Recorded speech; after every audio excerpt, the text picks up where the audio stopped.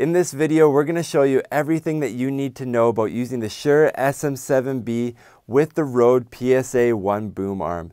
This is by far my favorite boom arm to use with the Shure SM7B. It's extremely fast, extremely reliable, and it really is transparent. What I mean by transparent is you're not thinking about tightening knobs or anything. You're just grabbing the microphone and moving it where you want it and it sticks the landing every time. It doesn't fade, it doesn't raise, it doesn't lift, it doesn't do anything like that. Wherever you put this stand, that's exactly where the microphone will stay. Now, first of all, if you are looking for pricing or specs for anything that you see in this video, we do have links down in the description below where you can find current up-to-date pricing from a variety of online retailers to make sure that you are getting the best price possible if you are looking to buy any of this equipment. Now, the first thing that I count on, I always talk about this when I'm buying equipment or trying to analyze or grade equipment, is what is the one job that this thing is supposed to do for me? Why am I spending money on this? And the Rode PSA-1 does that one job of holding the microphone where I put it exactly perfectly every single time. If I'm sitting at my desk, this is a pretty common position for me. I'll have my hands on the keyboard, I'll be looking at the monitor, and I think it's the musician kind of background. I like having the microphone under my mouth pointing up. A lot of people like it to the side or to the top, but my personal preference, and this is one thing that a lot of stands can't do, they can't do this angle where this middle mechanism here is less than 90 degrees. A lot of them have this drift where they want to square that angle there, but the Rode PSA-1 is the most transparent and I can put the microphone right there and it holds perfectly for me every time. Now you'll notice when I lift this that it doesn't droop. If I put it here and let go, it doesn't sag. A lot of other stands, I find myself doing some type of mental math thinking, I need to raise this to here because it'll eventually drop to here. Or maybe it feels a little loose, so I need to tighten up a screw.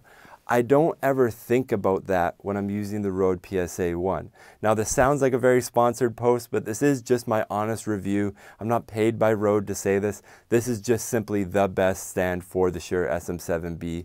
Out of the five or six that we have here in the studio, this is the one that I do recommend because like I say, it comes down to that one job.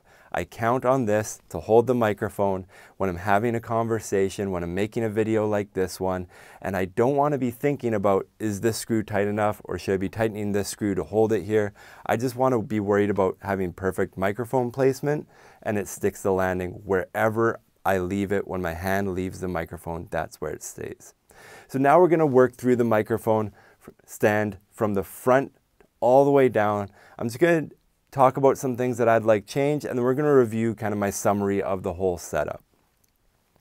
So right at the beginning, there's a couple little things that aren't perfect with the Rode PSA-1 if you are using this with the SM7B.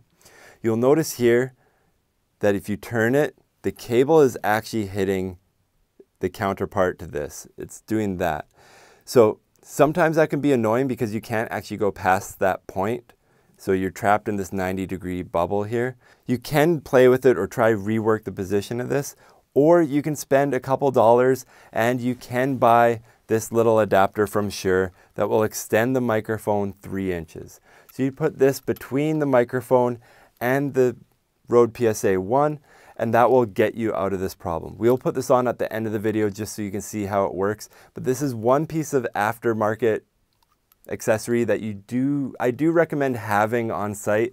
You don't run into it all the time. Like with the angle that I'm standing at for the purposes of this video, it's not an issue for me at all. So I do prefer to take it out when I don't need it, just because I don't like having the big stem at the end of the third joint here. We have one, two, three angles that we can change here and I don't like having the big stem. I like it as tight as possible because the SM7B does already have that stem built into it, but we'll put that on at the end so you can see it. Now next we do have these tightening screws for that third stem and the adjustability here. Now for those, it seems like an odd choice to me that they were made chrome. I would have much preferred them to be the same dry black or the same black color as the rest of the stand. Chrome in a studio is never my favorite just because you do have lights, you do have cameras, And if this is meant to be used in that type of situation, you don't want reflections going on the chrome. I've even had it lately with a lot of video conferencing that you have glare coming in from a window and it's hitting that. And since by the nature of being a microphone boom stand, this is normally in the shot and reflective surfaces just don't seem like a good idea to me. As we move down, we're going to talk about the design. The design that enables everything that I like about this stand, the scissor action with the two rods here and, and the geometry of it, it's not the best looking compared to some of the other tube style mic stands. But to me, the looks come second because this does this way better. Like no matter where I leave the microphone, that's where it stays. All those tube style stands, if you raise it up, you know it's gonna drop like that the second you let go of it. So that is one thing that you do have to be kind of consider of. You do sacrifice some looks of some of the better looking stands for that. With the design of this also, the cable management leaves something to be desired. Rode gives you these Velcro strips. I put the factory ones on. And it's good for them, I guess, because they're smart. They put their logo on it. And it does allow, as you pivot this action, you do use more or less cable. And this Velcro design here that they've kind of come up with does allow for the cable to go through. If you're always switching between XLR microphones and USB microphones, which we do in here sometimes, it's an extremely fast switch to make. It's three pieces of Velcro, you switch the cable and you're good to go. So that sense it's pretty good and helpful. I just don't like the look of it as much as some of the other solutions that are out there. As we work our way down, there's no other real surprises. Sometimes I've noticed that I do need to put in just a flat screwdriver here and give these uh, mechanisms just an eighth of a turn just to tighten them up a little bit. They do loosen up over time. But the most important thing, like I said earlier, is I'm never like trying to crank down a knob mid recording. I really do appreciate about that, that about this stand is if you're doing maintenance, it's maybe once every six months you give it a tiny little, mm, tighten it up a bit. So no big deal there. Now when it comes to the mounts that come with it, I am using a third party mount here to mount it to the desk. This is the mount that they ship with it for clamping to a stand. It comes with another mount, which we'll talk about in a minute. So this is pretty well designed. It looks really good. It's built really great. It has really good build quality.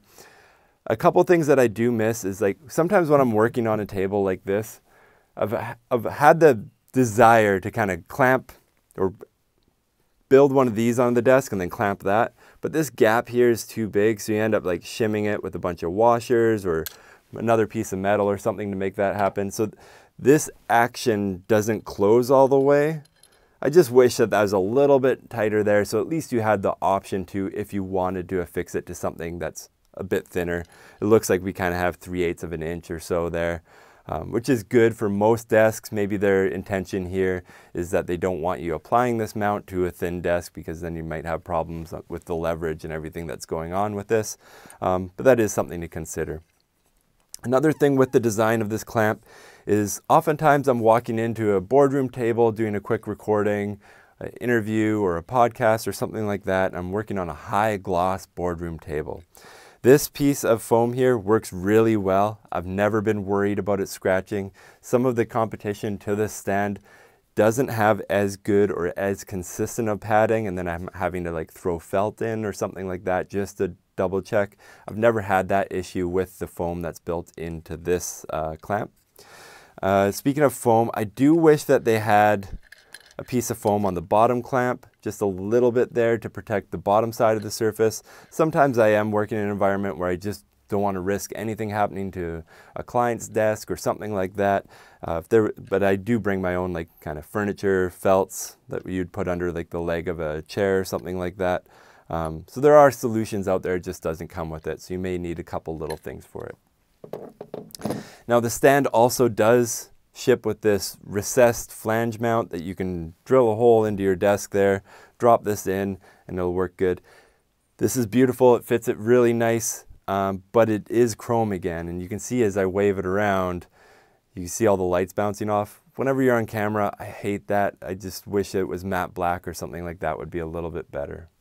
One more note about the desk clamp here is I do have one desk that's not perfectly level. It's there's some weird geometry going on.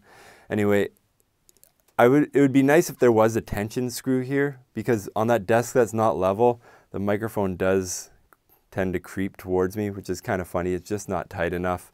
Um, I've solved it before by putting gaff tape around the stem of the stand and that seems to work pretty good. I do just wish that there was a little bit of adjustability here.